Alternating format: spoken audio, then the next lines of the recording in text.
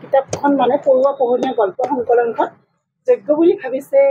সেইটো কাৰণে মই তেখেতসকলক ধন্যবাদ অৰ্পণ কৰিছোঁ। আৰু বাকী মানে ভালো লাগিছে আৰু লগতে মোৰ দায়িত্বও বাঢ়িছে। সেইটো আৰু।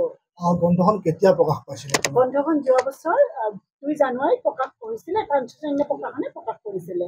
কিমানটা গল্প সংকলন কিমানটা গল্প? এঘাৰটা গল্প আছে। গল্প সংকলনখনত একৈছ চনৰ পৰা মই যিখিনি গল্প লিখিছোঁ চৌব্বিছলৈ চৌব্বিছ নহয় তেইছলৈ জুলাইলৈ সেইখিনি গল্প আছে। আপোনাৰ এই যিটো আচলতে বঁটা প্ৰাপ্তি আপোনাৰ এই কৃতিত্বটো আপুনি কাক আহ, কৃতিত্বটো আচলতে ধৰক বহুত ক্ষেত্ৰত বহুতো দিশ আহে। যেনেকে ধৰক মই যদি ঘৰত এটা পৰিৱেশ নাপালো হয় যে মই কিতাপখিনিৰ লগত জড়িত আমি ধৰক মধ্যবিত্ত মানুহৰ কি হয় ল'ৰা ছোৱালীক দূৰলৈ ফুৰাব নিবলৈ দিগদাৰ হয় তেতিয়া কিতাপ এখন আমাৰ মাক দেউতাকে দি দিয়ে ন। সেয়ে মানে আমি সেইটো পাইছিলোঁ। ধৰক মোৰ পিতা মোৰ ডাঙৰ খুৰা বা মানে আমাৰ খুৰাহঁতে ঘৰত খুব কিতাপ পঢ়িছিলে। তেখেতসকলে খুব দৰিদ্ৰ মানে কৃষক পৰিয়ালৰ পৰা ডাঙৰ হৈ নিজক এষ্টাব্লিছ কৰিবলৈ তেখেতসকলে যিখিনি কৰিছিলে তাৰ কাৰণে মানে তেখেতসকলে দেখিছিলোঁ যে কিতাপ পঢ়ে তেখেতসকলে মানে ভাল ভাল কিতাপবিলাক সংগ্ৰহত থাকে তেনেকৈ মই কিতাপ পঢ়িবলৈ লোৱা আৰু সৰুৰ পৰা পঢ়িছোঁ মই। প্ৰায় ক্লাছ থ্ৰী মানৰ পৰা মই মানে পঢ়ি ভাল পাওঁ আৰু মানে লোকজীৱনৰ লগত ধৰক যদিও মোৰ বেকগ্ৰাউণ্ডটো চাইন্সৰ হয় কিন্তু মোৰ লোকজীৱনৰ লগত জড়িত কেনেকুৱা ধৰক কিবা জ্যোতিপ্ৰসাদৰ কিবা পাতিলে বিষ্ণু ৰাভাৰ কিবা পাতিলে মানে মা দেউতাহঁতে লৈ যাব ভাল পায়।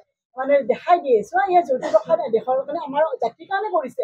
কিবা এটা ভাল লাগে। আৰু তাৰপিছত যেতিয়া ডাঙৰ হৈ আহিলোঁ ধৰক কিতাপবিলাক পঢ়িলে এটা বুজা হ'লো ন যে মানে এইখিনি কিতাপে আমাৰ মানুহখিনিক আনিছে। এতিয়া ধৰক এতিয়া আজি তাৰিখত ধৰক মই ঘৰৰ পৰাও মানে একো মানে প্ৰব্লেম নোপোৱা মানে ধৰক এনেকুৱা। কিন্তু মোৰ মানে কেনেকুৱা হয় লিখিব ল'লে মোৰ মানে বিলাসী গাড়ী এখনত গৈ থকা মানুহতকে শাল বন শাল বুই আছে বা মানে খেতি কৰি আছে বা মানে এনেকুৱা পাণ পাণৰ গছত উঠি পাণ পাৰি আছে সেই মানুহবিলাকে বেছি আকৰ্ষণ কৰে। আৰু সেইকাৰণে নেকি যে মানুহৰ য'ত টান থাকে তেনেকৈ মই নেশ্যনেল ৱেলথ হেল্থ মিছনত দুহেজাৰ বাৰ চনত জইন কৰিলোঁ আঠ বছৰ মই ওদালগুৰিত কাম কৰিলোঁ ইয়াতে চাৰি বছৰ হৈ গ'ল মই সেই সময়ত দেখিলোঁ যে বহুত গল্প বহুতে লিখে বহুতে লিখি আছে। তেতিয়া মই অৰূপ অপূৰ্ব শৰ্মা ছাৰ আমাৰ বিশিষ্ট মানে প্ৰসিদ্ধ গল্পকাৰ আৰু আমাৰ অৰূপা পটংগীয়া কলিতা তেখেতসকলৰ লিখাবিলাকত বিচাৰি পাওঁ মানে মহিম বৰা যে আমাৰ লোকজীৱন আছে মানে। আচলতে মই সেইটো সেইটোৱে ভাবিলোঁ যে হয় লোকজীৱন থকা লিখাবিলাক তেওঁলোকে কেনেকৈ লিখিছে? সেই লিখাবিলাকক লৈ মানে ময়ো লিখিবলৈ কিবা আৰু। উৎসাহিত হ'ল আৰু মোৰ নিজৰ পঢ়ুৱা পোহনীয়া সংকলনখন মই লিখিছো যে যিগৰাকী প্ৰতিজ্ঞা গল্পকাৰৰ গল্প পঢ়ি আমিও গল্প ক'বলৈ বাধ্য হৈছিলো।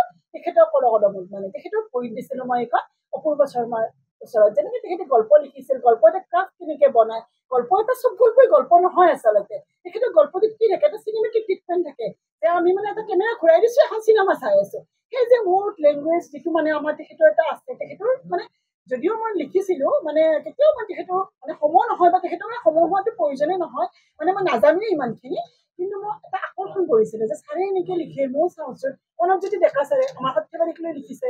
সেইবিলাক মানে পঢ়ি কিনে যেতিয়া আগ্ৰহ এটা পালোঁ পাই কিনে মই মানে এয়া কৰিছোঁ আৰু মই মানে লিখিব চেষ্টা কৰিছোঁ সোতৰ চনৰ পৰা আৰু ওলাইছেও মোৰ দৈনিক জনমভূমি আমাৰ কিশোৰ গোস্বামী তাৰপিছত মিহি দেউৰী ছাৰ গীতালী বৰা প্ৰকাশ আলোচনী আমাৰ প্ৰমোদ কলিতা ছাৰ অসম প্ৰকাশন পৰিষদৰ সচিব তেখেতেও এই আগ্ৰহ কৰি আমাৰ মাতে মানে আমি জানো নাজানো গল্প অনুষ্ঠান এটা পাতিব গ্ৰন্থমেলা তেনেকে মাতে। এইটো মুনিন বৰকটকী দুই হাজাৰ চৌব্বিছ সাহিত্য বঁটা দিছে। তাৰ পাছত এ, এই বস্তুবিলাক মানে ধৰক আমাক এটা উৎসাহ দিবলৈ বেকগ্ৰাউণ্ড এটা লাগিলে আমি পাই লিখি থাকো ন? এতিয়া মানে মই ধৰক চবেই লিখি আছে তাৰ পৰা অলপ বেলেগকে কি লিখিব পাৰি? বড়ো আন্দোলনৰ নামত দুটা লিখিলো আহ, মানে সেনেকে। অসম মানে আপুনি আন্দোলন দুহেজাৰ সোতৰ চনৰ পৰা আপুনি আচলতে লিখা মেলাৰ লগত জড়িত হৈছে জড়িত হৈছো। আৰু আজি আচলতে আপোনাৰ কাৰণে এইটো এটা মহৎ আপোনাৰ প্ৰাপ্তি যে অ, আপোনাৰ মানে মই কিন্তু কিতাপখন কিন্তু চব পঢ়োৱা নাই। মানে মই যে গল্পটো লিখিলে পঢ়ুৱে পঢ়িব তেনেকুৱা নহয়। গল্পটো মানে চাই ল'ব লাগিব। মানে হৈছে নে নাই? আমাৰ অসমীয়া ভাষাটো যিহেতু এটা ইমান এটা মানে হেৰি ভাষা ন আপোনালোকে চবেই গম পায় কাৰণে যে নলবাৰী ডিষ্ট্ৰিক্টখনক লৈ গল্প কিয় নিলিখে কোনো? আমিতো কিতাপৰ সাহিত্যত কলম নদীক বিচাৰি পাওঁ। ময়ো লিখিম মানে ময়ো আমাৰ পাগলাদিয়া বুঢ়াদিয়াৰ কথা লিখিম। পূৰ্ব পোহনীয়াৰ মানে হেৰিটো কি আছিল? আপোনাৰ মানে নলবাৰীৰ কথিত ভাগ আছে আছে। কথিত ভাষা আছে ওদালগুৰি গল্প ক্ষেত্ৰত ওদালগুৰি কথিত ভাষা আছে। মৰক গল্পত যিটো হীৰা মানুহ কুমাৰ মানুহ কথা মৰক গল্পটো প্ৰকাশেই প্ৰকাশ কৰিছিলে যোৱাবাৰ। সেইটোত আছে মানে আমাৰ নলবাৰী কথিত ভাষাটো আছে লিলিয়া দিনত কথিত ভাষা আছে আৰু মানে জীয়া তৰা আৰু আমাৰ কাঠৰ বাকচ এইবিলাকত ওদালগুৰি লেংগুৱেজটো আছে।